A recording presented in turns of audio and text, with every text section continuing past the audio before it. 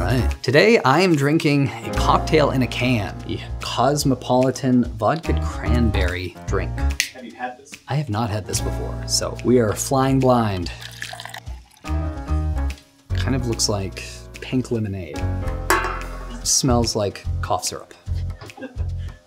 It tastes closer to cough syrup than pink lemonade too.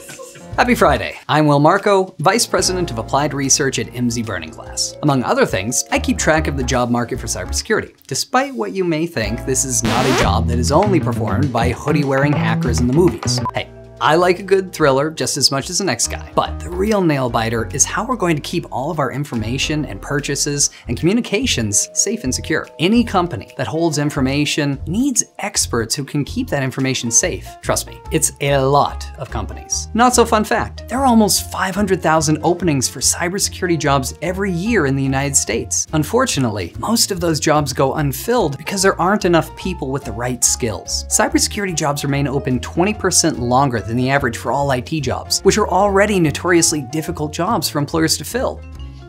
There is some cranberry, some metallic notes, and, and the lime. There is some lime in there, so something resembling a natural ingredient.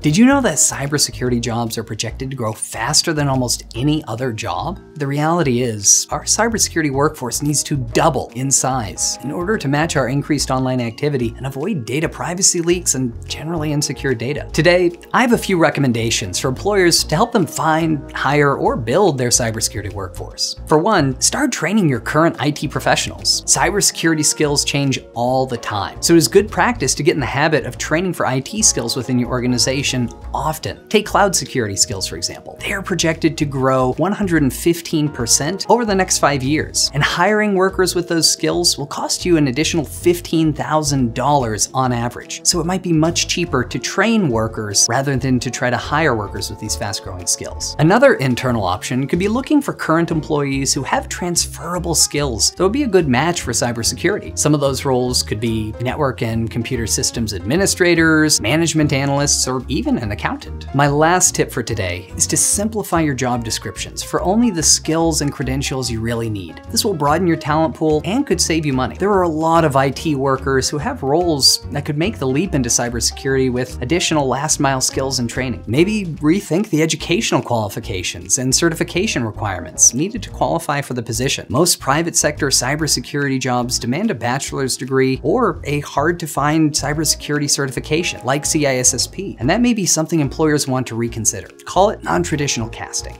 If you're interested in getting into cybersecurity yourself, you might want to check out cyberseek.org, the website we developed in partnership with CompTIA and the National Initiative for Cybersecurity Education. It's got data on cybersecurity job openings down to the local level, and it also has career pathways and other tips for getting started and getting ahead in cybersecurity. The fact is, the demand for cybersecurity skills is growing dramatically. If you need help building a talent strategy or finding hard to find people with the cybersecurity skills you need, we're here for you. So happy Friday, and here's your friendly reminder to avoid those phishing emails. Signing off of Beer with Emsi Burning Glass, I'm Will Markow, and I'm gonna go find a real cocktail.